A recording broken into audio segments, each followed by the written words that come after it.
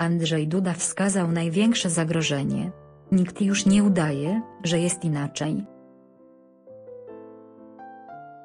W Waszyngtonie kończy się szczyt NATO w 75. Rocznicę powstania Paktu Północnoatlantyckiego. Ostatniego dnia prezydent Andrzej Duda spotkał się z akredytowanymi przedstawicielami mediów. Cieszymy się z tego, że sojusz poszerzył się w tym roku o kolejne państwo. Miałem okazję rozmawiać z premierem Szwecji i ministrem obrony tego kraju. To wzmacnianie więzi sąsiedzkich ma ogromne znaczenie, powiedziała głowa państwa dziennikarzom. Andrzej Duda przekazał, że w imieniu Polski podziękował sekretarzowi generalnemu NATO Jensowi Stoltenbergowi za lata współpracy. Nie jest dla nikogo tematem tabu, jakie jest dziś największe zagrożenie dla sojuszu? Nikt już nie udaje, że jest inaczej i wszyscy stwierdzają, że to Rosja. Można to było usłyszeć w czasie każdej z sesji, wskazał prezydent Polski. Ukraina może liczyć na zdecydowanie większe wsparcie niż do tej pory. Zostały tu poczynione konkretne postanowienia, mówił Andrzej Duda. Padło pytanie o Tuska. Prezydent odpowiedział krótko. Wśród pytań od dziennikarzy padło to o współpracę z rządem.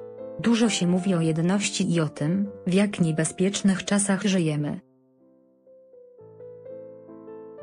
W ramach swojej wizyty udzielił pan wywiadu, którym nazwał rząd niedołęgami, zasugerował, że są złodziejami. To jak pan wyobraża sobie współpracę z rządem przez najbliższy rok, chciał wiedzieć dziennikarz TVP. Szanowny panie, ta kwestia nie dotyczy zupełnie tego, o czym rozmawialiśmy na szczycie.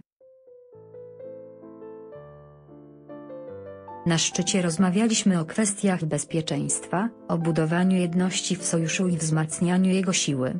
To pytanie jest nie na temat, zwróciła uwagę głowa państwa. Andrzej Duda podsumował szczyt NATO.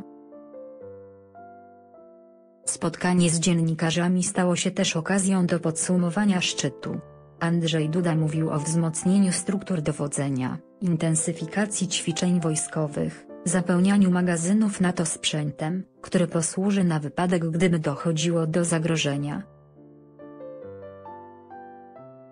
To jest to, co musi zostać w ramach sojuszu zrealizowane, uzupełnione. O tym była mowa, przekazał.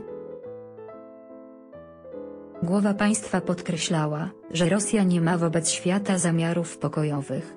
Prezydent przekonywał, że wydatki na obronność powinny wzrastać.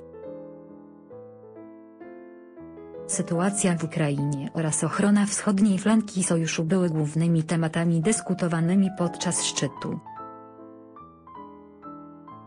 Polskę w USA reprezentowała liczna delegacja, z prezydentem Andrzejem Dudą na czele, a także wicepremierem i ministrem obrony Władysławem Kosiniakiem-Kamyszem i ministrem spraw zagranicznych Radosławem Sikorskim. Z polską delegacją do Waszyngtonu poleciał też redaktor naczelny faktu Michał Wodziński.